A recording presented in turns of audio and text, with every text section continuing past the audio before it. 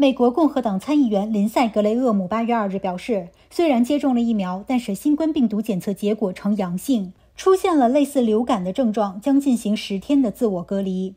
六十六岁的格雷厄姆在推特上表示：“我很高兴我接种了疫苗，因为如果没有疫苗，我肯定不会感觉像现在这样好，我的症状会严重的多。”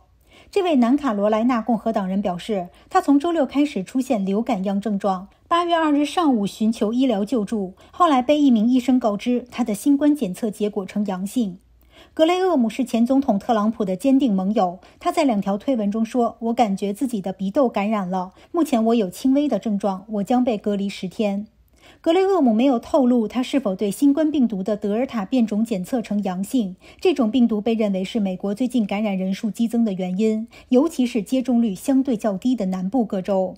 根据新冠疫苗跟踪系统的数据，南卡罗来纳州百分之四十六的人口至少接种了一剂新冠疫苗，远低于全国百分之五十八的平均水平。